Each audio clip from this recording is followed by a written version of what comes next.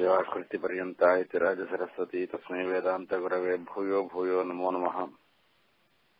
विशुद्धविज्ञानघनस्वरूपम्, विज्ञानविश्राणनबद्धदीक्षम्, दयानिधिम् देहभृताम् शरण्यम्, देवम् हयग्रीवमहम् प्रपद्ये।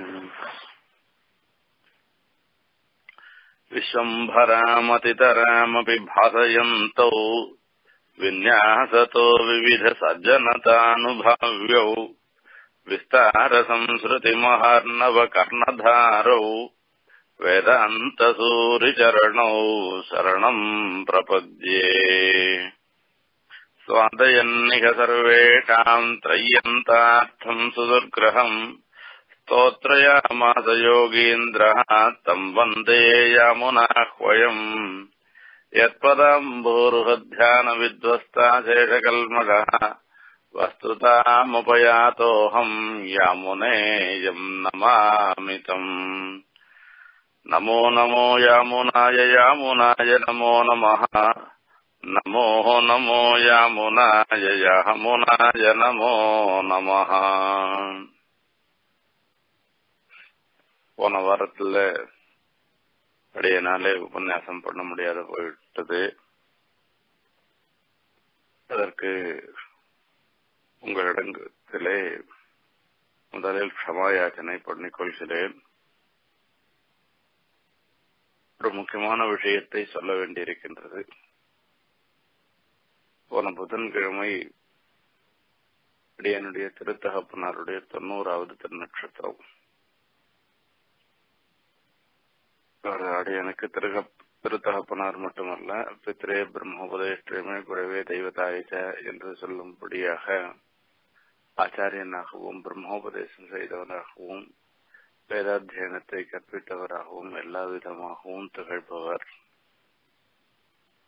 ஆகையால் அவரை பற்றி நாம் ஏதேனும் அடியன் கூறினேன் ஆனால் அது ஒரு சிஷ்யனுக்கு செய்ய வேண்டிய செயல் என்றுதான் சொல்ல வேண்டும்.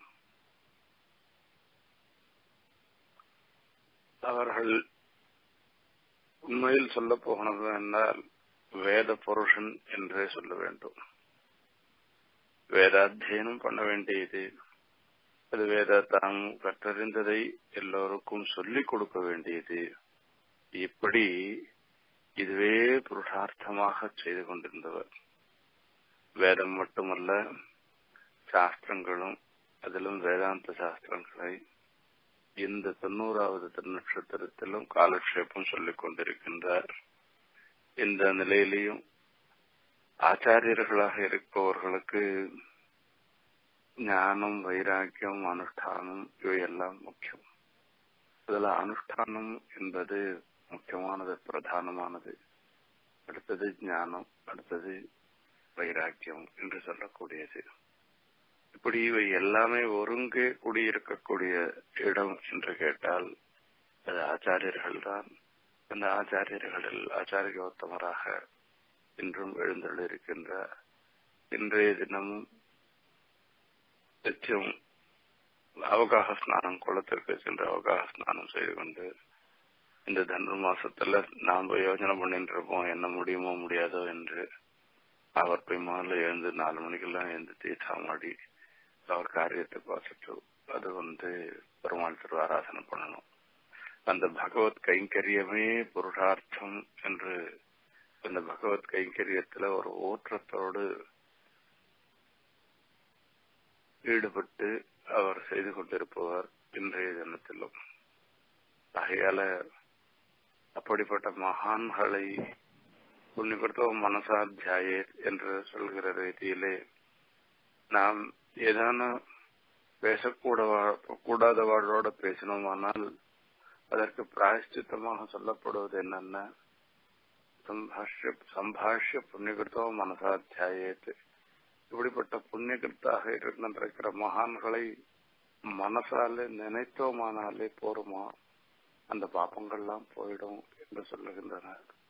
அப்படி பிராத்தஸ்மரணியராக எழுந்தருளி இருக்கின்ற சுவாமியை பற்றி ஓரிரு வார்த்தை முதலில் சொல்லிவிட்டு அவரை நினைத்தோமானாலே நமது பாபங்கள்லாம் போயிடும் என்பதையும் தெரிவித்துக் கொண்டு ஏற்பட்ட மகானின் அனுகிரகம் இந்த இதுல இருக்கிறவா எல்லாருக்கும் யார் யாரெல்லாம் இருந்திருக்காளோ அவ எல்லாருக்கும் கிடைக்கணும் என்கிற பிரார்த்தனையும் முன்னிட்டு கொண்டு அடுத்ததாக இன்றைய உபன்யாசத்தை ஆரம்பிக்கின்றேன்.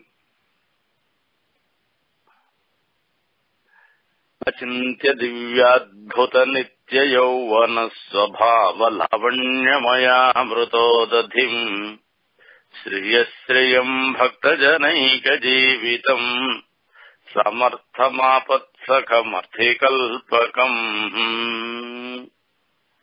இது நாற்பத்தி ஐந்தாவது ஸ்லோகம் இது எம்பெருமானுடைய அனுபவம் பகவத் அனுபவத்தை இவ்வளவு அவ்வளவு என்று சொல்ல முடியாது. எத்தனை நாள் கேட்டிருந்தாலும் கேட்டுட்டே இருந்திருக்கலாம். பன்னெண்டு ஸ்லோகமாக எம்பெருமானுடைய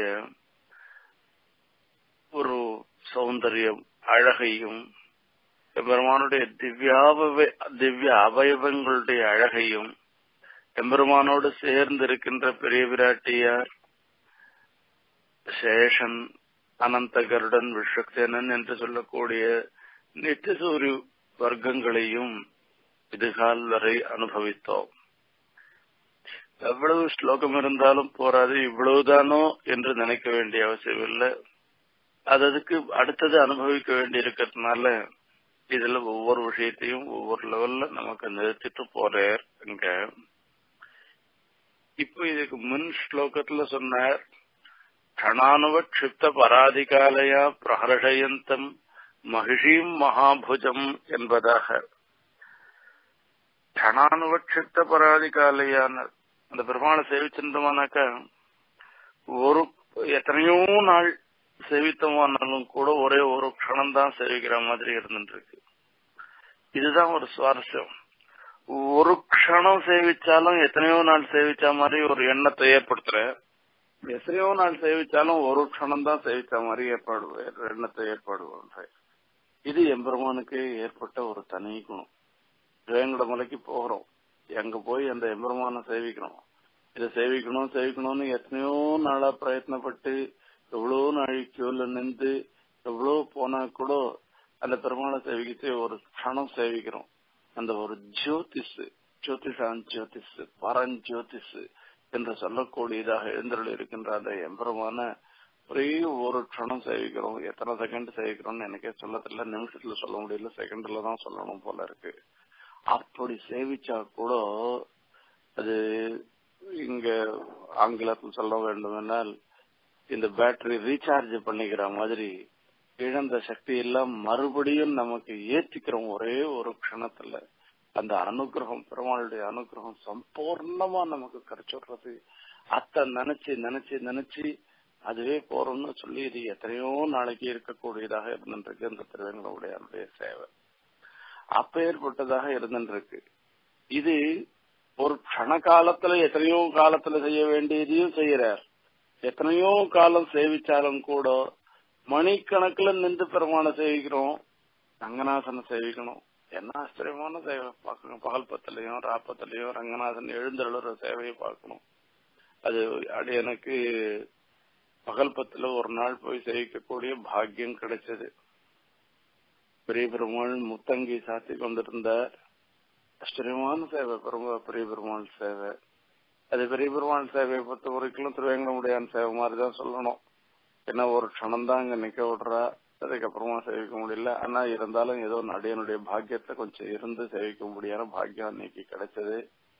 அப்போ பார்த்தோம்னாக்கா அந்த பெரிய பெருமாளுடைய சேவை ஆச்சரியமா. பாதாம்போஜம் ரங்கநாஸ்திங்கா முகத்வந்தே விலகதி विलगति शनैरोद्धमभ्येति नाभिं वक्षस्यास्ते वलति भुजयोः मामिकेयं मनीषा वक्राभिख्यां प्रतिமதே வாசனாம் மௌளிபந்து என்று சொல்லக்கூடியதாக இருந்திருக்கிற சுவாமி தேசிகன் அனுபவித்த மாதிரி ஆச்சரியமான திருமேனியில அந்த முத்தங்கியை சாத்தி கொண்டு எழுந்தொள்ளி இருக்கிறதே சேவிப்பதற்கு காண கண்ணாயிரம் வேண்டும். அப்படி என்னண்ட அர்ஜுன மண்டபத்துல இருந்து பெருமாள் ஏழ்ற ரங்கநாதம்.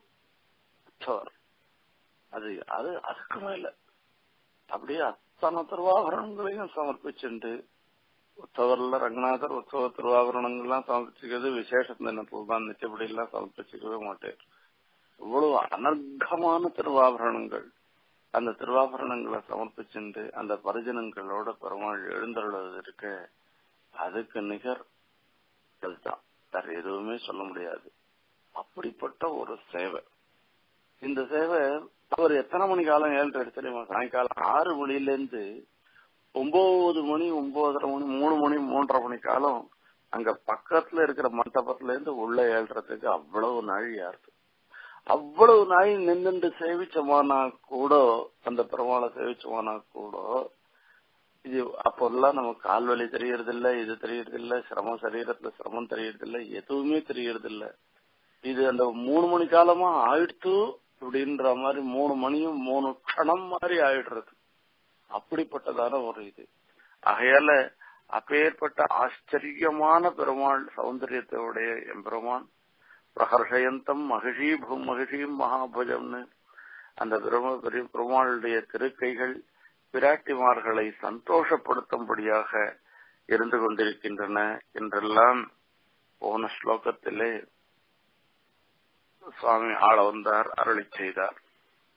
அடுத்து இந்த ஸ்லோகத்திலே ஆரம்பத்திலே சொல்லப்பட்ட யௌவனம் அந்த யௌவனத்தையும் எல்லோருடைய மனசையும் ஆகர்ஷிக்கக்கூடியதாக இருந்திருக்கிற சமுதாய சோபையையும் எம்பெருமானை அணுக வேணும் என்றால் அந்த ஆசிரியத்துவத்துக்கு அந்த பெருமாளை ஆசிரியிப்பதற்கு ஏற்றதான எம்பெருமானுடைய குணங்கள். அந்த குணங்கள் அதே மாதிரி ஒரு வஸ்து போக்கியமாக அனுபவிக்க வேணும் என்றால் அந்த போக்கியத்துவத்துக்கு ஏற்றதான குணங்கள். இப்படிப்பட்ட இது எல்லாவற்றையும் இந்த ஸ்லோகத்தினாலே சேர்த்து அனுபவிக்கின்றார். அச்சிந்திய திவ்யாத்புத நித்ய யௌவன ஸ்வபாவ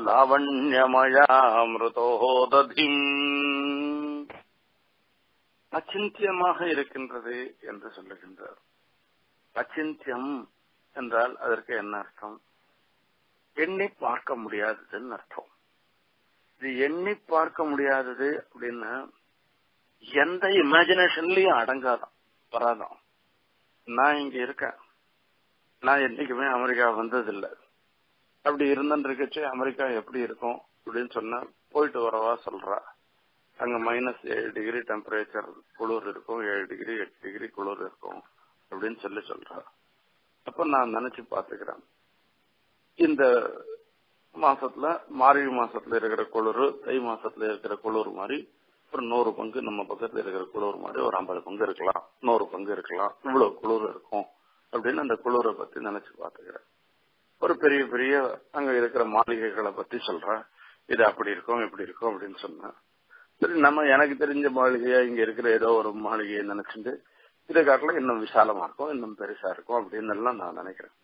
இவை எல்லாமே என்னுடைய இமேஜினேஷனுக்குள்ளேயே வரக்கூடியதாக இருந்துருக்கு ஆனா பெருமாள் அதே மாதிரி ஒருத்தர் சொல்றா இவ இப்படி அழகா இருப்பா அப்படின்னு சொன்னாக்கா சரி இவாளை காட்டலாம் எனக்கு நான் அழகுன்னு யார நினைச்சுட்டு இருக்கணும் அவரை காட்டலாம் அவ இன்னும் அழகா இருப்பா அப்படின்லாம் தான் எனக்கு தோணும் ஆனா பெருமாளை பத்தி நினைக்கணும் அப்படின்னு சொன்னா எம்பெருமானுடைய குணங்களையோ திவ்யாத்மஸ்வரூபத்தையோ திவ்யமங்கள விக்கிரகத்தையோ இப்படிதான் இருக்கும் அப்படின்னு நாம நினைக்க முடியுமா அப்படின்னு கேட்டா நினைச்சே பார்க்க முடியாத ஒரு எப்படி நாம நினைச்சாலும் அது எம்பெருமானுடைய விஷயத்துல ஒரு ஓரத்தில் தான் இருந்துட்டு இருக்குமே தவிர முழுஷா இருந்தது.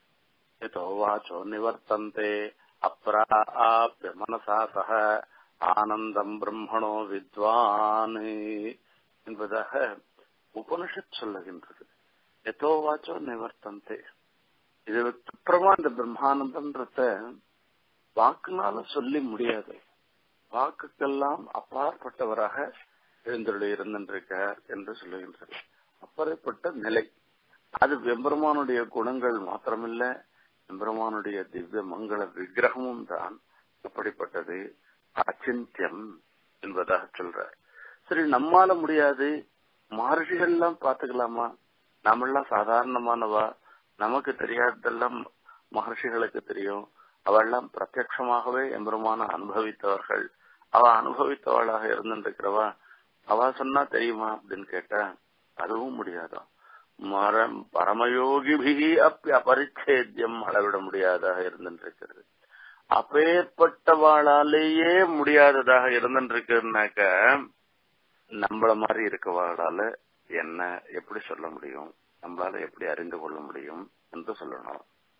அது மாத்திரமல்ல எந்த குதர்க்கங்களாலும் இவர் அப்படிலாம் இருக்கணும்னு ஒன்னு அவசியம் என்ன நாலு கை இருந்தா நல்லா இருக்குமாண்ணா நாம வேணா வச்சு பார்ப்போமே.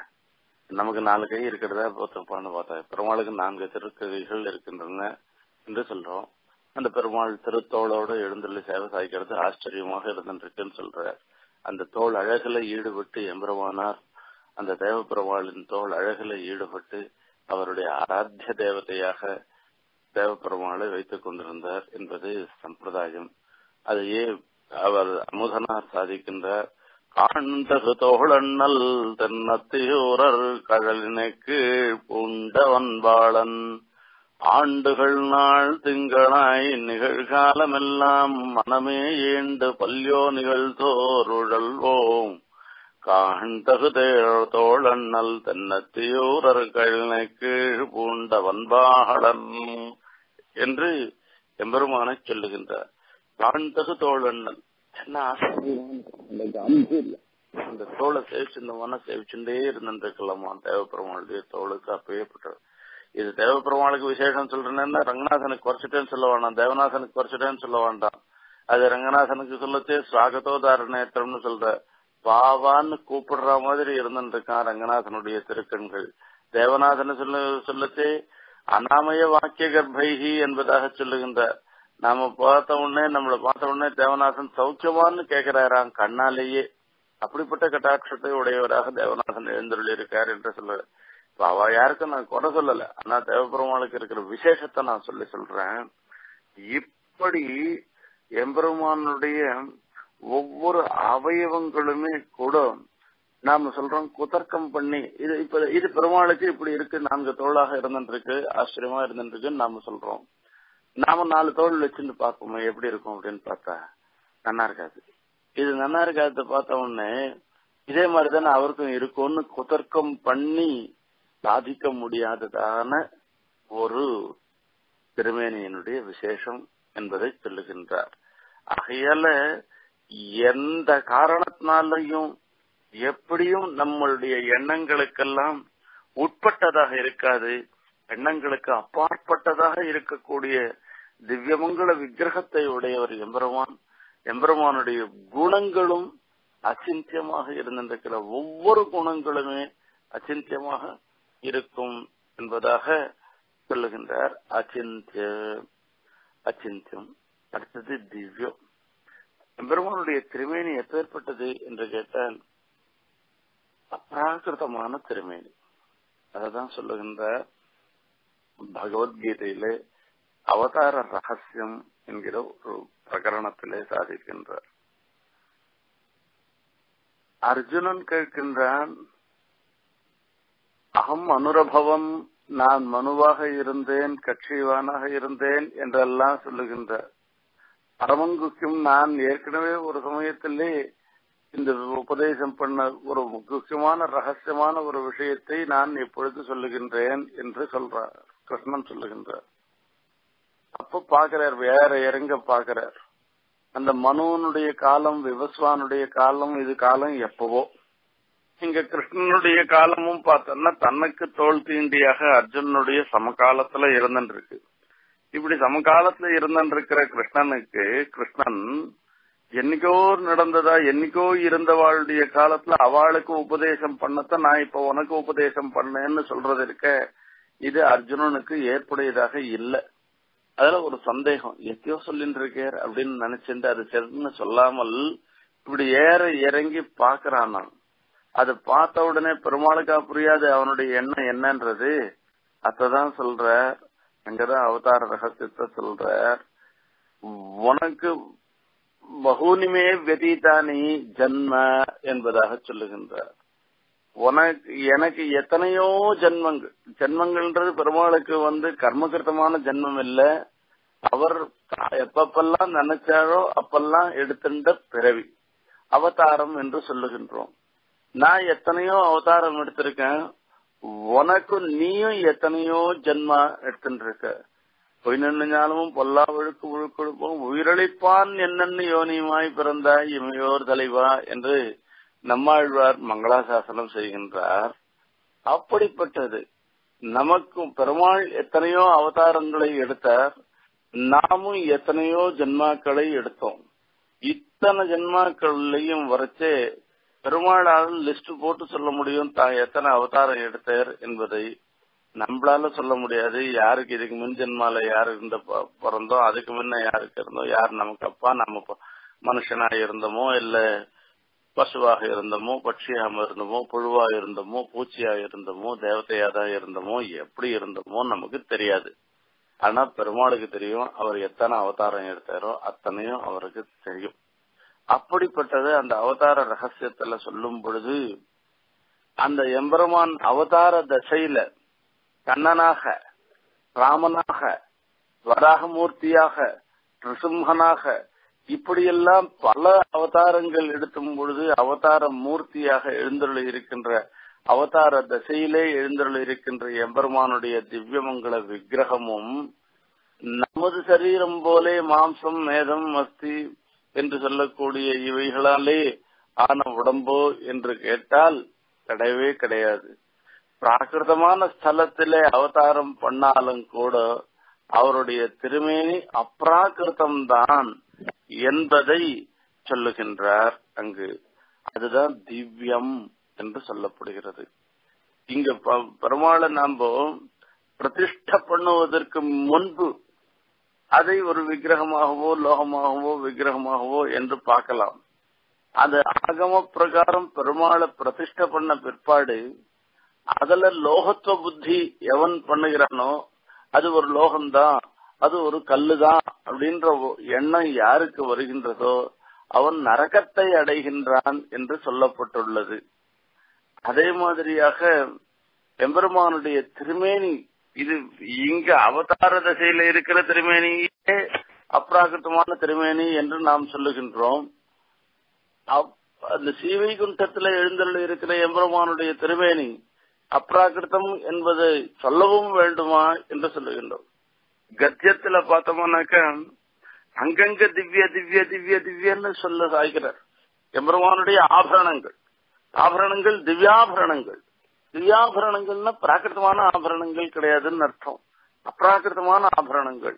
அங்கு இருந்திருக்கிற கோலம் நதி புஷ்பம் வாப்பி தட்டாக்கம் கூப்பம் எல்லாமே திவ்யமானது அப்படின்னு சொல்லி சொல்ற எல்லாமே அப்ராகிருத்தமானதுன்னு இவை எல்லாமே அப்ராகிருத்தமாக இருக்கும் பொழுது எம்பெருமானுடைய திவ்யமங்கல விக்கிரகம் ஏன் அப்ராக்கிருதமாக இருக்கக்கூடாது?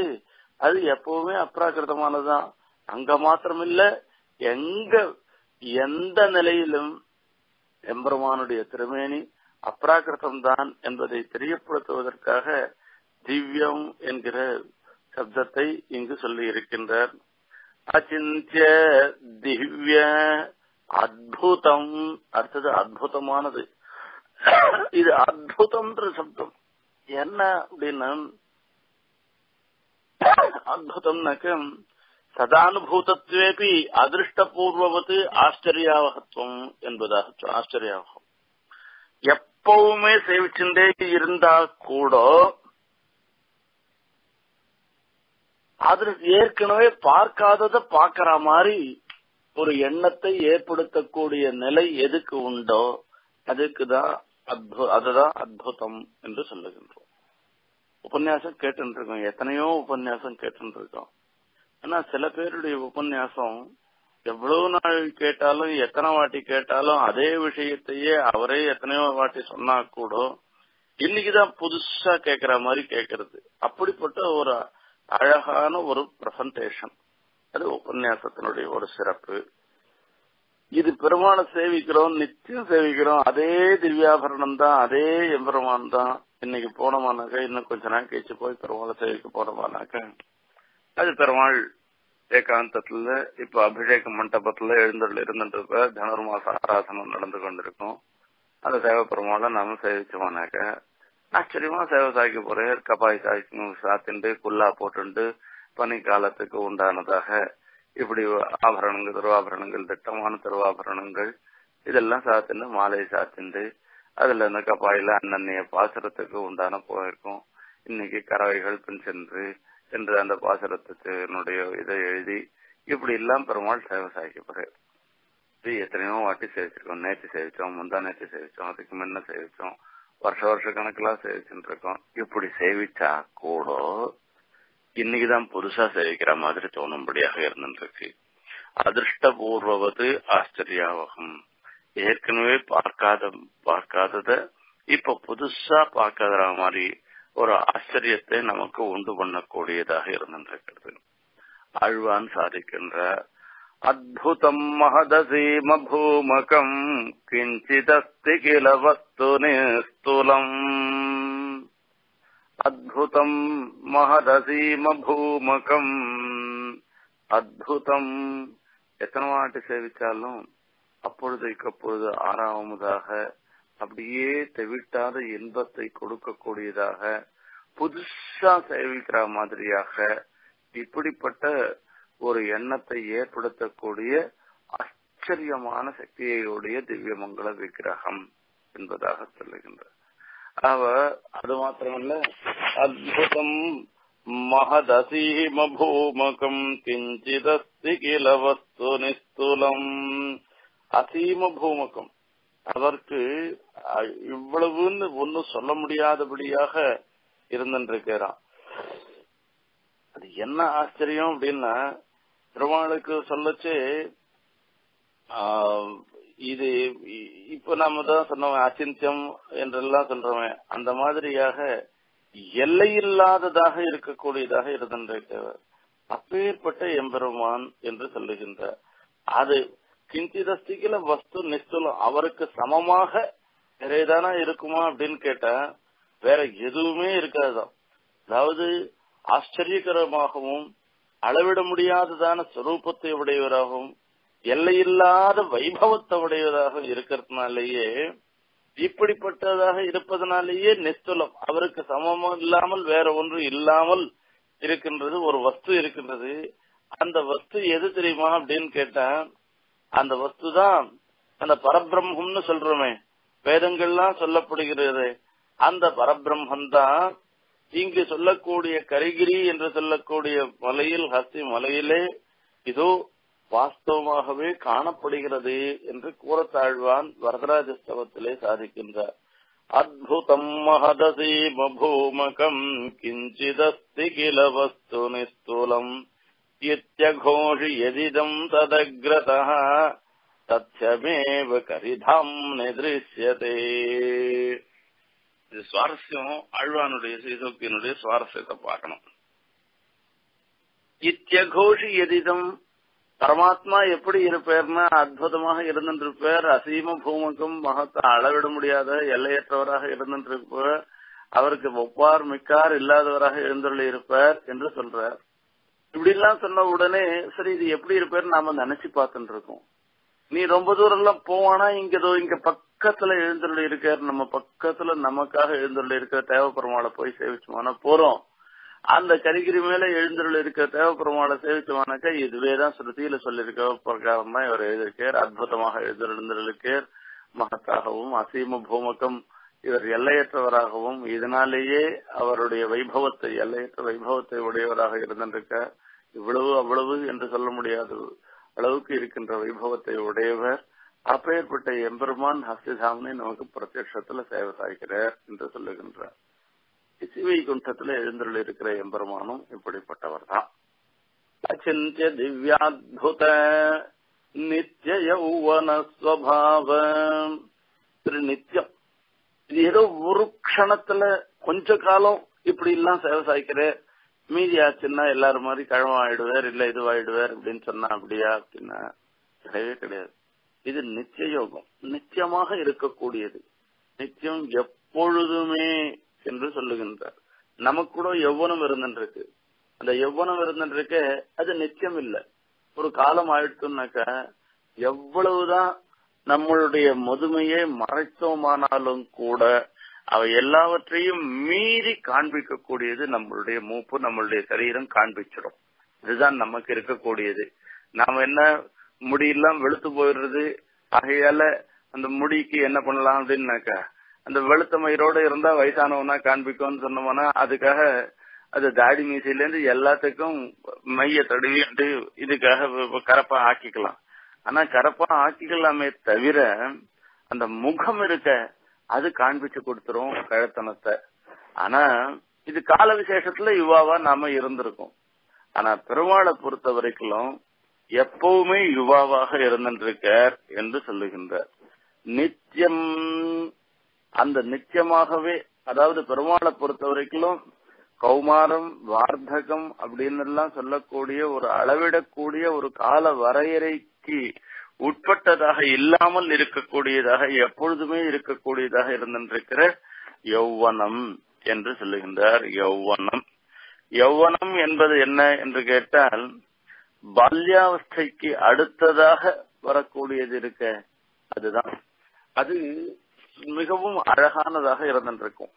அப்பேற்பட்ட இது இப்படிப்பட்டதாக இருந்திருக்கிற அதாவது எண்ணங்களுக்கு அப்பாற்பட்டதாகவும் அப்ராகிருத்தமாகவும் எப்பொழுது சேவித்தாலும் அப்பொழுதைக்கப்பொழுது ஆமுதாகமாக தவிட்டாத இன்பம் பயப்பதாகவும் எப்பொழுதுமே இருக்கக்கூடிய நித்தியமாகவே இருக்கக்கூடிய யௌவனத்தையும் உடையதாக இருந்திருக்கிறதே அவருக்கு சுவாவமா.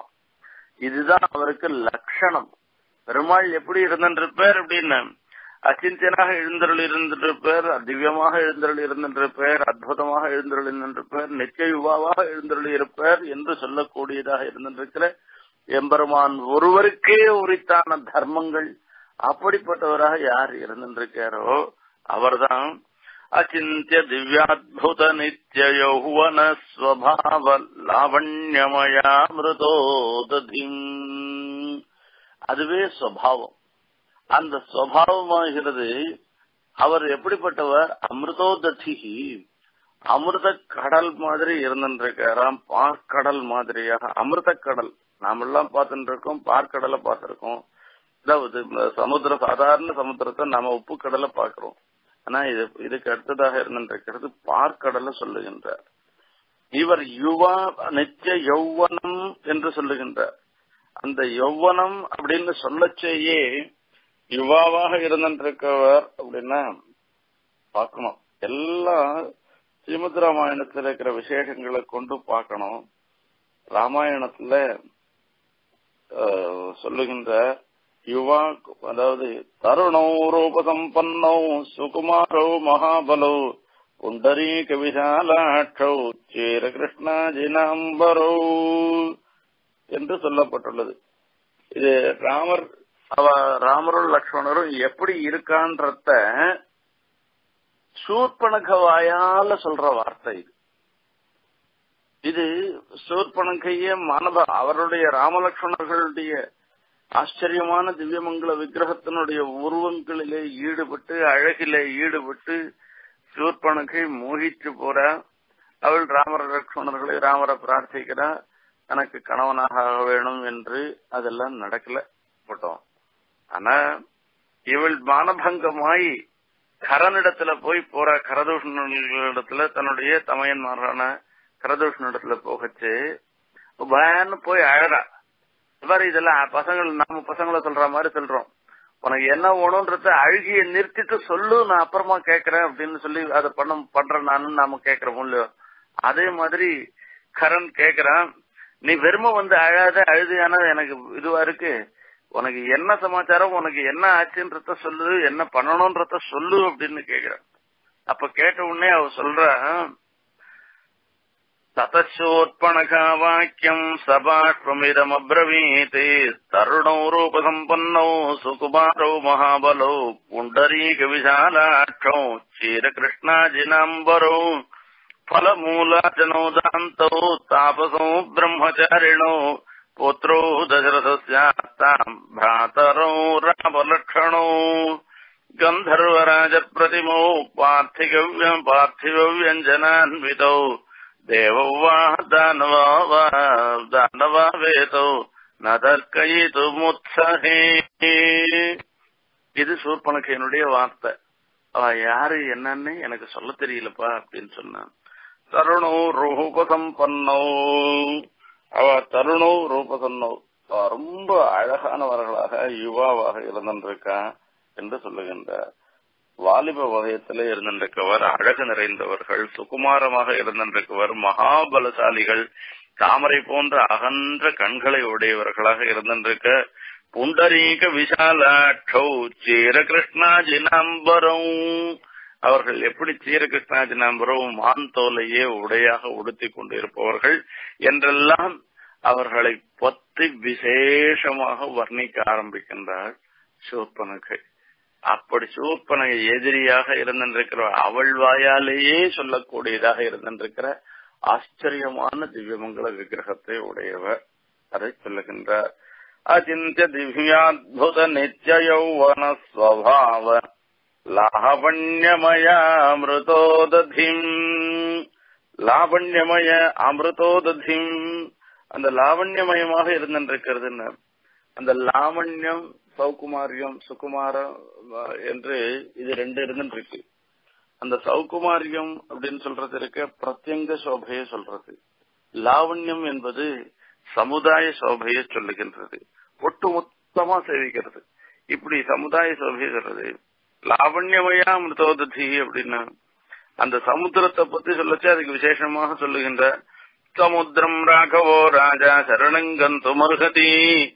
खानितः खानितः சகரேணாயம் அப்பிரமேயோ மகோததிஹி அப்பிரமேயோ மகோததிஹி அளவிட முடியாததாக இருந்திருக்கிறது இது அளவற்றதான இந்த பெருங்குடல் இது சனக்கராலே வெட்டு வைக்கப்பட்டது என்று சொல்லுகின்றார் அப்பேற்பட்டதாக இருந்திருக்கு அளவிட முடியாததாக இருந்திருக்கு இவருடைய சமுதாய சோபை அந்த சமுதாய சோபை தான் லாவண்யம் லாவண்யமய அமிர்தோததிம்.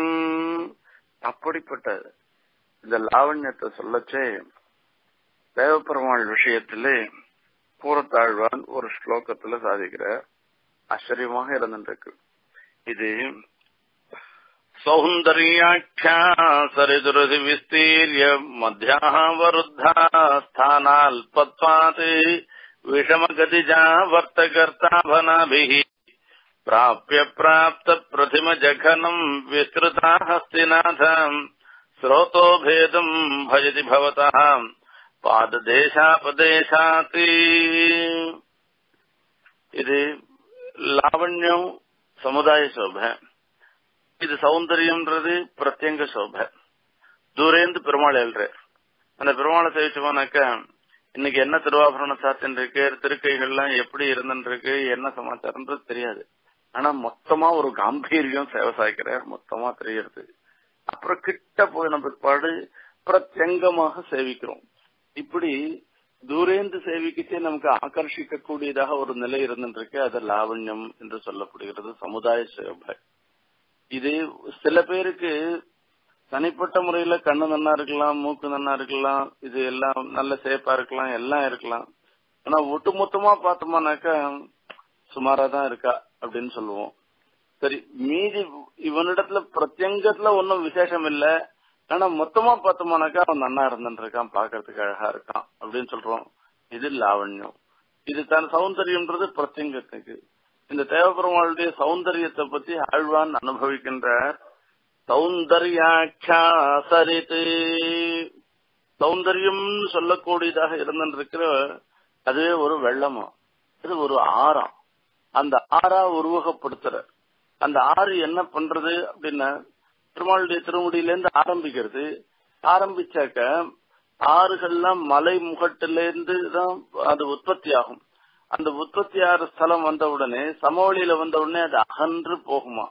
அந்த சமவெளி மாதிரியாக இருந்திருக்கிறது பெருமாளுடைய திருமார்பு. அந்த திருமார்பு சொல்லுகின்ற சௌந்தர்யாட்சா சரிதுரது விஸ்தீரிய மத்தியாவருத்தாம் அந்த சமவெளியில பாயிட்டு நன்னா அகந்து நன்னா பிரமாதமா பாயிருது அது போன பிற்பாடு என்ன ஆகும் அப்படின்னா நடுவுல மலைகள் எதனா வந்துருத்துனாக்கா மீண்டும் குறுகி போயிடும்.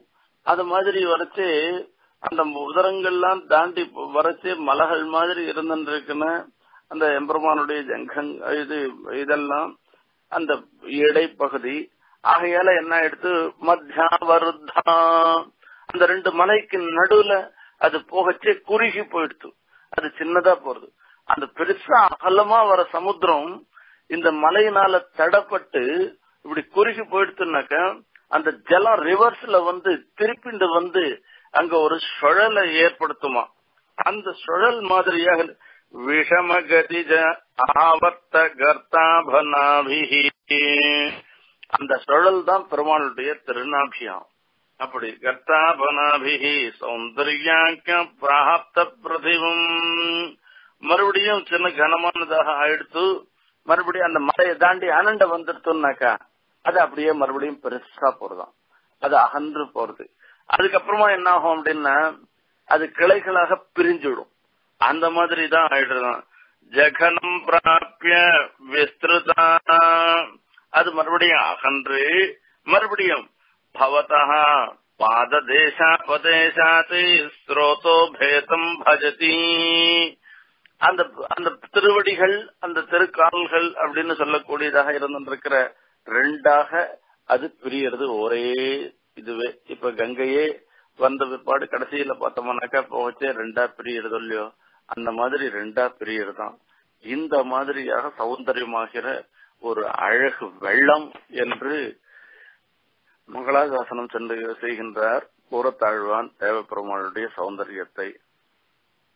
எம்பெருமானுடைய லாவண்யத்தை இங்கு அமிர்த கடலாக அனுபவிக்கின்றார் ஆளவந்தார். அச்சிந்திய திவ்யாத்புத நித்ய யௌவன ஸ்வபாவ லாவண்யமயா லாவண்யம் அந்த லாவண்யத்துக்கு எத்தனைதான் சமுதாய சோபதான் லாவண்யம் அப்படின்னு भूयिष्ठम् तेज एवाद्भिः बहुलाभिः ஜனனம் चक्षुरानन्दजननम् लावण्यमिति कथ्यते। கட்சுரானந்தஜனனம் அதை பார்த்த உடனே கண்ணுக்கு சந்தோஷத்தை உண்டு பண்ணுவதாக எது இருந்திருக்கோ அதுதான் லாவண்யம் என்று சொல்லப்படுகிறது என்று சொல்லுகின்றார். அதுக்கு ஒரு லட்சணம் சொல்லுகின்றார். அது இது இன்னது இதுதான் சந்தோஷத்தை உண்டு பண்றதுன்னு பிரத்யேகமா சொல்ல வேண்டிய அவசியம் இல்லை. அதை சமுதாயமாக பார்த்த உடனேயே நமக்கு மனசுக்கு சந்தோஷத்தை ஏற்படுத்தக்கூடியதாக இருந்திருக்கிற ஒரு நிலைப்பாடு இருக்கு. அது லாவண்யம் என்று சொல்லப்படுகிறது. நிரதிசய போக்கிய மகத்தராகாரத்துவம். அதாவது இவ்வளவு அவ்வளவுன்னு சொல்லக்கூடியதாக இருந்தும் இல்லாமல் பெரிய ஒரு பெரிய ஒரு ஆக்காரத்தை உடைத்ததாக இருப்பதை தெரியப்படுத்துவதற்கு தான் இங்கு அமிர்தோததி என்று சொல்லப்படுகிறார். அப்பேற்பட்ட எம்பெருமானுடைய திவ்யமங்கல விக்கிரகத்தை இதுகாரும் சொன்னார். ஆச்சரியமாக எழுந்தருளிருக்கார் என்பதை. அது மாத்திரமில்ல அவருக்கே ஏற்பட்ட ஒரு தனி குணம். ஸ்ரீயா ஸ்ரீயம் திருவுக்கும் திருவாகிய செல்வா என்று ஆழ்வார் மங்களாசாசனம். திருவுக்கும் திருவாகிய செல்வன். யார் சாட்சாத் எம்பெருமான்? இவர்தான் பெருமாள் தான் அவஸ்ரீயா ஸ்ரீயம். ஏற்கனவே இத சொல்லியிருக்காரு இதே வார்த்தைய. கஸ்ரீ ஸ்ரீயா பரமசத்துவ சமாஸ்ரயா கஹா. கப்புண்டரீகநயனः புருஷோத்தமः கः கஸ்ரீஸ்ரீயः திருவுக்கும் திருவாகியவன் யார்? என்று கேட்ட யார் சாட்சாத் பரபிரம்மமாக இருந்திருக்கிற ஸ்ரீமன் நாராயணன் தான். என்பதை தெரியப்படுத்துவதற்காக அங்கு சொன்னார். அவர் பரதத்துவ நிர்ணயத்துக்காக யாரெல்லாம் மீதி எல்லாரும் திருவில்லா தேவர்கள் பெருமாள் ஒத்தர் தான் திருவுடன் இருக்கக்கூடிய திருவுக்கும் திருவாக விளங்கும் தேவன்வர் ஆகையால மீதி பேரெல்லாம் கழிச்சுட்டு பரதத்துவம் யாருன்னு பிரதிஷ்ட பண்ணச்சு தீர்மானம் பண்ணச்சு திருவுக்கும் திருவாக இருந்திருக்கிறது தான் பரதத்துவத்தினுடைய நிலை என்பதை காண்பிக்கின்றார் அந்த இடத்திலே. இந்த இடத்திலே நமது கைங்கரியம் இருந்திருக்கு நாம எம்பெருமானுக்கு கைங்கரியம் செய்யும் பொழுது எப்பேற்பட்ட எம்பெருமானுக்கு கைங்கரியம் பண்ண வேண்டும் என்றால் பிராட்டியோடு எழுந்தருளி இருந்திருக்கிற எம்பெருமானுக்கு கைங்கரியம் பண்ணணும். இது துவயத்தினுடைய அர்த்தத்தை சொல்லுகின்ற ஒரு விஷயம். ஆகையால இந்த கிரந்தமே துவயத்தினுடைய விவரண ரூபமாக இருக்கின்றது என்பதை ஆரம்பத்திலேயே நாம் சொன்னோம். அந்த துவயார்த்தத்திலே சிமதே நாராயணாயன் மகா என்று சொல்லும் பொழுது அந்த கைங்கரியத்துக்கு பத்து சம்பந்தியாக எழுந்தருள் இருக்கின்ற எம்பெருமானுடைய நிலைப்பாட்டை நமக்கு காண்பிக்கின்றது. எப்பேற்பட்ட எம்பெருமான் கைங்கரியத்துக்கு பிரசந்தியாக பிரதிசம்பந்தியாக இருப்பவர்கள் பெருமாளும் பிராட்டியுமாக சேர்ந்த ஒரு மிதுனமே என்பதை இங்கு தெரிவிப்பதற்காக ஸ்ரீயஹா ஸ்ரீயஹாம் திருவுக்கும் திரு என்று சொல்லுகின்றார். ஸ்ரீய ஸ்ரீயம் பக்தஜனைக ஜீவிதம். பக்தஜனைக ஜீவிதம் அவர் திருவுக்கும் திருவாக இருக்கிறது மாத்திரமில்ல. அவர் எப்பேற்பட்டவர்? பக்த ஜனங்களுக்கெல்லாம் ஏக ஜீவிதம் அவர் ஒருவரே ஜீவிதமாக இருந்திருக்கார் அவர் ஒருவரே புகழாக இருந்திருக்கார் அவர் என்ன அப்படின்னா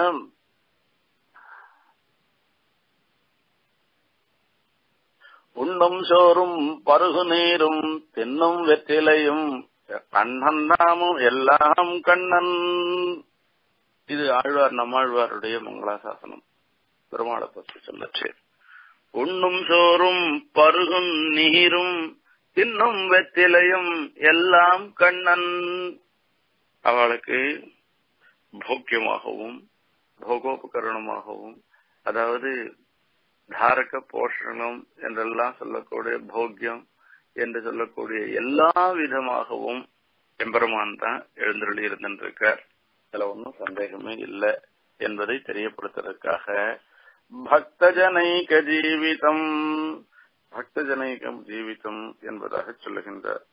இவெல்லாம் எப்படி பக்த ஜனங்களுக்கு முக்கியமாக உயிரை போன்றவராக இருக்கிறார். மச்சித்தாக மத்கத பிராணாக போதயந்தः பரஸ்பரம் கதயந்தம் நித்யம் துஷ்யந்தி ச ரமந்தி மச்சித்தாக மத்கத பிராணாக பெருமாளிடத்திலேயே இவர்கள் மனசை வைத்தவர்கள். அப்பேற்பட்டவர்கள் இவர்கள். மத்கத பிராணாக இங்க அஸ்மசத்தினால சொல்றது பெருமாளை சொல்ற. மத்கத பிராணா எம்பெருமானிடத்திலே வைக்கப்பட்ட பிராணனை உடையவர்கள் அப்படின்னா ஒரு நாள் பெருமாளை சேவிக்கலன்னாக்க அன்னைய நாள் வீணா போயிடுத்து இன்னைக்கு ஏகாதசி உபவாசம் மாதிரி இருந்ததாக அவர்கள்லாம் நினைச்சுக்கிறாளாம். இப்படி இவள்லாம் எப்பேற்பட்டவர் அப்படின்னா பக்த ஜனைக ஜீவிதம் பக்த ஜனங்களுக்கு ஏக ஜீவிதமாக ஒரு ஜீவனமாக அவர்தான் ஜீவனமாக இருந்திருக்க என்று ஒரு அர்த்தம். இன்னொன்னு இதுக்கு இப்படி வேற மாதிரியா அர்த்தம் பண்ணலாமா? பக்த ஜனைக ஜீவிதம்.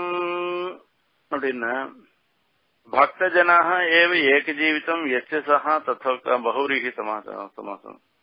முதல்ல தத்புருஷ சமாசத்துல அர்த்தம் சொன்னோம். இப்ப சமாசத்துல அர்த்தம் சொல்றோம்.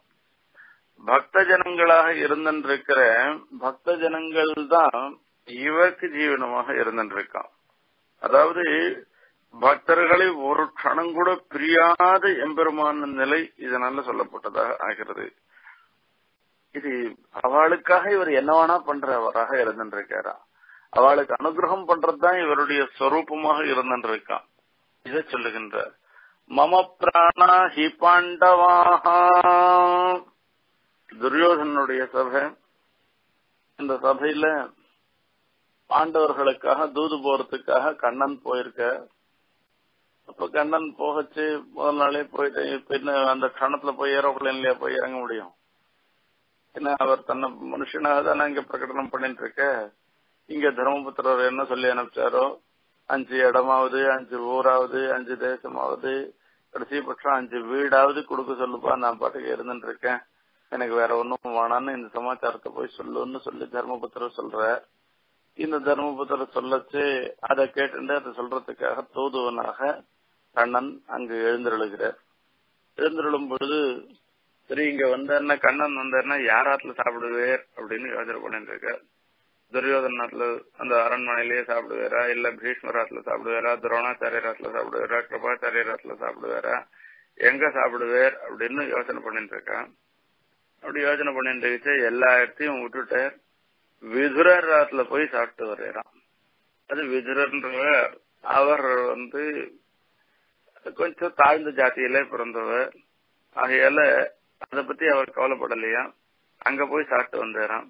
அங்க சாட்ட உடனே அவர் சொல்ற அங்கேருந்து துரியோதனன் கேக்குறான் கண்ணனை பார்த்து ஏண்டா நான் இருந்துட்டு இருக்கேன் இவாள்லாம் துரோணர் பாண்டு பீஷ்மர் இவாள்லாம் இருந்துட்டு இருக்கான் இவாளெல்லாம் விட்டுட்டு ஒரு விதிரனுடைய அன்னத்தை போய் விஷ்ண போஜனத்தை போய் சாப்பிட்டு வரைய. இது உனக்கே நன்னா இருக்கா? இது சாப்பிடலாமா? அப்படின்னு அவர் கேக்குற. அதுக்கு துரியோதன் கேட்கிறான் அதுக்கு பதில் சொல்றார் பெருமாள். த்விஷதன்னன்ன போக்தவ்யம் திஷன் தன்னைவ போஜயேத்து பாண்டவான் த்விஷசே ராஜன்னே. மம பிராணா ஹி பாண்டவான் த்விஷதன்னம் ந நம்மள யார் யாரெல்லாம் வெறுக்கிறார்களோ எதிரிகளாக நமக்கு யார் இருக்கின்றார்களோ அவர்களுடைய அன்னத்தை நாம சாப்பிடக்கூடாது. என்ன ஆயிடுமோ அவன் என்ன விஷம் வச்சிருவானோ என்னமோ ஆகையால அவளுடைய விஷத்தை நாம் அந்த அன்னத்தை நாம சாப்பிடக்கூடாது. அதே மாதிரி துஷந்தம் நைவ போஜயத்து அப்படின்னா நம்மள யார் வெறுப்பவர்களாக இருக்கின்றார்களோ அவர்களை கூட்டும் நாம சாதம் போடக்கூடாது. ஏன்னா நாம நல்ல கிரமமான சாதாரணமான சாதத்தை போட்டா கூட ஏதோ விஷத்தை போட்டா சாவடிச்சுட்டான் அப்படின்னு எதனா சொல்லிடுவா. ஆகையால அவர்களுக்கும் சாதம் போடக்கூடாதுன்னு சொல்லிருக்கு. ஆகையில திருடதன்ன போக்தவியும் திடந்தன் நைவ போஜியத்துன்னு சொல்லிருக்கு உனக்கு எப்படிப்பா நான் ஆகையில நான் சாப்பிடல அப்படின்னு. அதுக்கு கேக்குறா உனக்கு யார் துவேஷம்? கண்ணா உனக்கும் எனக்கும் என்ன சம்பந்தம் இருக்கு? உனக்கு நான் ஒன்னும் உன்னை துவேஷிக்கலையே அப்படின்னு நினைக்கிறதா அவன் கேக்குறதா எடுத்துட்டு அதுக்கு சொல்ற பாண்டவான் துஷதே ராஜன்னு. மம பிராணாஹி பாண்டவாஹா. நீ என்ன பண்ற? பாண்டவர்களை வெறுக்கிற. அந்த பாண்டவர்களை வெறுக்கிறதுனால நீ அவ ஆகையில நீ பாண்டவர்களுக்கு எதிரியாக இருக்க. பாண்டவர்கள் யாரு அப்படின்னா மம பிராணா ஹி பாண்டவாக பாண்டவர்கள் வேற யாரும் இல்ல என்னுடைய பிராணம் தான் பாண்டவர்கள். நான் அவர்களுடைய உடலாக இருக்கின்றேன் எனக்கு உயிராக இருந்திருக்கிறவர்கள் பாண்டவர்கள் என்று கண்ணன் சொல்லுகின்றார். அதுதான் பக்தஜனைக ஜீவிதம் சமர்த்தம் ஆபத்சகம் அர்த்திகல்பகம் சமர்த்தம் இந்த லோகத்துல ஜெகத் சிருஷ்டி ஸ்திதி பிரளயத்துக்கெல்லாம் செய்யக்கூடியதுக்கு சாமர்த்தியம் உடையவராக எழுந்திரல் இருந்திருக்கார் ஒன்னு தனக்கு சமமான போகத்தை கொடுப்பவராக எழுதிருந்திருக்கார் இப்படி எம்பெருமான் தமக்கு தன்னை அண்டியவர்களுக்கு தமக்கு சமமான போகத்தை கொடுக்கும் பொழுது அதற்கு தடங்கலாக இருந்திருக்கிற விரோதிகளை நிரசனம் பண்ணுவதற்காகவும் அதற்கும் சமர்த்தமாக இருந்திருக்க பிரதிபந்தகங்களை போக்கடிக்கக்கூடியவராகவும் இருந்திருக்க. ஆகையாலதான் பரித்ராணாய் சாதுனாம் வினாசாய்ச்ச துஷ்கிருதாம் தர்ம சம்ஸ்தாபனார்த்தாய் சம்பவாம் யுகே யுகே என்று கீதையிலே கண்ணன் சொல்லுகின்றார். அப்படிப்பட்ட பெருமான் அவர் சமர்த்தம். ஆபத்சகம். ஆசிரியர்களுக்கு ஆபத் காலத்திலே அனுகிரகம் வருபவராக இருந்திருக்க அவ ஒரு சமயத்துல ஒரு நாள் என்னை காண நீ வாராயோ? அப்படின்னு சொல்லி அந்த வார்த்தை கூட சொல்ல முடியாத நிலையில இருக்கச்சே கூட அந்த நிலையிலையும் பெருமாள் அவருக்கு உபகாரம் பண்ணுபவராக அனுகிரகம் செய்பவராக இருந்திருக்கிறவர் அவர் ஆகையால அர்த்தி கல்பகம் யார் எல்லாம் எதெல்லாம் விரும்புறாளோ விரும்புறதை கொடுப்பவராக ஆசிரியர்களுக்கு அவர்கள் விரும்புவதை அபேட்சிப்பதை கொடுப்பவராக எழுந்தருள் இருந்திருக்கிறான் அவர். கல்பகம்ன்றது கல்பவருஷம் அது கல்பவருஷமாக இருந்திருக்க. அஸ்திதார்த்த பரிதான தீட்சிதம் சர்வபூத சுகிருதம் தயாநிதிம். தேவராஜமதிராஜமாசிரயே ஸ்ரீநிதிம் நிதிமபாரமர்த்தினாம் அர்த்திதார்த்த பரிதான தீட்சிதம் இங்க தேவப்பெருமாள் திருமலையில எழுந்தருள் இருந்திருக்க அவர் ஒரு பெரிய சங்கல்பத்தோட இருந்திருக்காராம் அர்த்திதார்த்த பரிதான தீட்சிதம் தர்மமாக யார் யாரெல்லாம் என்னென்ன பிரார்த்திக்கின்றார்களோ அவ எல்லாவற்றையும் அவருக்கு கொடுக்கறதுன்ற ஒரே ஒரு சங்கல்பத்தோட கூட வரதன்னு பேரை வச்சுட்டு இந்த அத்திகிரி மலை மேல எழுந்தொள்ளி இருந்திருக்கார் என்ற பாரிஜாத விடபானபிதோயா புஷ்பசம்பதுதியாதே கரிநாதம். அது பெருமாளுக்கு நான்கு திருத்தோள்கள் இருக்கின்றன. அந்த நான்கு திருத்தோள்களும் என்ன பண்றது அப்படின்னு கேட்டேன் அந்த தோள்கள்லாம் தர்மார்த்த காம மோட்சம்னு சொல்லக்கூடிய நான்கு விதமான புருஷார்த்தங்களையும் வாரி வாரி வழங்குகின்றன. எல்லாத்தையும் நாலு மூணுனாலும் நாலும் நாளும் கொடுக்குறேன். இல்ல நீ எது கேக்குறியோ அதை நான் கொடுக்குறேன்.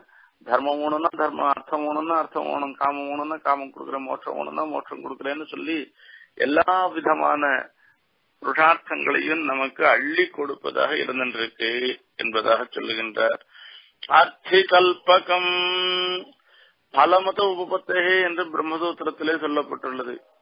எல்லா பலங்களும் பலத்தை கொடுக்கிறவர்ன்றவர் யாருன்னா நம்மளுடைய புண்ணிய பாப்பங்கள் பலத்தை கொடுக்கறதுன்னு நினைச்சுக்க வேணாம் புண்ணிய பாப்பங்கள்னால அவருக்கு புண்ணியத்தினால பெருமாளுக்கு பிரீத்தி ஏற்படுறது அந்த பிரீத்தியினால நமக்கு பலனை கொடுக்கிறார் பாப்பம் என்னாகும் நம்ம வெம்பெருமானுடைய சீற்றத்துக்கு காரணமாவதற்கு அதுக்கு காரணமாக இருந்திருக்கிறது பாப்பம் அப்ப பாப்பங்களை சேர்ந்தமானாக்கா அதுக்கு உண்டான தண்டனையை நாம கோபத்துக்கு உள் உட்பட்ட ஆளாக ஆகி நம்ம அதை அனுபவிக்கின்றோம் தண்டனையை அனுபவிக்கின்றோம். ஆகையால இந்த செயல் நாம் செய்கின்ற செயல்கள் எல்லாம் எம்பெருமானுக்கு பிரீத்தியோ கோபத்தையோ உண்டு பண்ணக்கூடியதாக இருந்துருக்கு இதுக்கு அப்புறமா தான் ஆனா பலத்தை கொடுக்கறது யாருன்னா சாட்சாத்தா எம்பெருமான் தான் என்பதை ஸ்ரீபாஷ்யக்காரர் ஸ்ரீபாஷ்யத்திலே நிர்தாரணம் செய்திருக்கின்றார். அந்த விஷயத்தை தான் இங்கு சொல்லுகின்ற அர்த்திகல்பகம். அர்த்திகல்பகம். அர்த்திக்கு அர்த்தியாக இருந்திருக்கவர்களுக்கு கல்பக விருட்சம் மாதிரி இருந்திருக்க ஒண்ணு. அது காட்டுல இன்னொரு விதமா இதுக்கே ஒரு அர்த்தம் பண்றாராம். அர்த்திகள் தான் இருந்திருக்காள அவள்லாம் அர்த்தினாக கல்பயத்தி தெரிசா இவா என்ன பண்றா அப்படின்னு கேட்டா உதாரா சர்வ வைத்தே என்று சொல்லப்படுகிறது. ஒருத்த பெருசா நம்ம கொடுக்கறேன் கொடுக்கறேன்னு சொல்லி தானம் வாங்க கொடுக்கறேன்னு சொல்லி காத்துட்டு இருக்கா வாங்கிக்கிறதுக்கு யாருமே இல்லாத ஒரு ஊர்ல இவெல்லாம் என்ன பண்ணுவா? இவ தானம் கொடுக்கறவா இருந்து என்ன பிரயோஜனம்? இவாளுடைய ஔதாரியம் வெளி ஔதாரியத்தினுடைய வெளிப்பாடே இல்லாத போயிடுமே. ஆகையால இவர் என்ன நினைக்கிறாராம்? வாங்கிக்கிறவாள்லாம் தான் கல்பவருஷம் மாதிரி இருக்கிறதா இவர் நினைக்கிறாராம்? அவள் விஷயத்துல அவ்வளவு பிரீத்தியாக இருந்துருக்காரா ஆகையால அவர்களை சொல்லும் பொழுது உதாரா சர்வைய வைத்தே உதாராக என்று சொல்ல கொடுக்கிறவர் இவர் உதாரர் இல்லையா வாங்கிக்கிறவா தான் உதாரா ஏன்னா அந்த பெருமாளுடைய ஔதாரியத்தை வெளிப்படுத்துபவர்களாக இருந்திருக்கிறதுனால அவள்லாம் சொல்லச்சே உதாராள் என்று சொல்லுறார் ஆகையால எல்லா விதத்திலும் பெருமாள் ஆச்சரியமான திவ்யமங்கல விக்கிரகத்தையும் அற்புதமான திவ்யமங்கல விக்கிரகத்தை உடையவராக எழுந்துள்ளிருக்கார் நிச்சயமாக இருந்திருக்கிற யௌவனம் இவைகளையே சுவாவமாக இயல்பாக உடையவர். அவரோட லாவண்யம் ஒரு சமுதாய சோபை.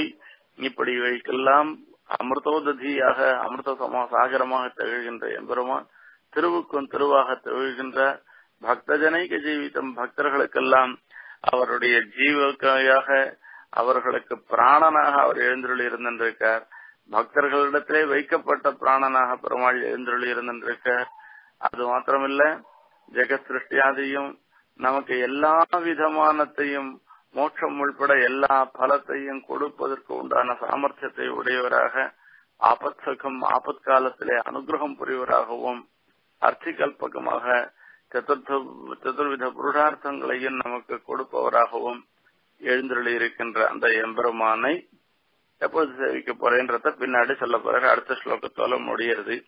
பன்னெண்டு ஸ்லோகம் பதிமூணு ஸ்லோகமா சொல்லிருக்கிறது அப்பேற்பட்ட எம்பெருமானுடைய அனுகிரகமும் ஆச்சாரியாளுடைய அனுகிரகமும் நம் எல்லோருக்கும் கிடைக்க வேணும் என்று அந்த தேவப்பெருமாள் திருவடி வாரத்திலும் ஆச்சாரிய சார்வகோமனுடைய திருவடி வாரத்திலும் பிரார்த்தித்துக் கொண்டு இந்த உபன்யாசத்தை நிறைவு செய்கிறேன். கவிதார்க்கிக சிம்ஹாய கல்யாண குணசாலினே ஸ்ரீமதே வெங்கடேசாய வேதாந்த குரவே நமகா